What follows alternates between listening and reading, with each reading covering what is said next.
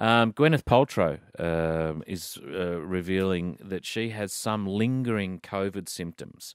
And you know what we've never done is ask our listeners if anyone has had COVID and whether they are experience, experiencing. Experiencing. Yeah, it's a tough one, isn't it?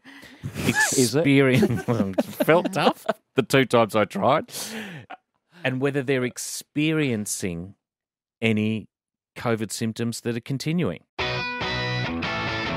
Marty Show. Triple M.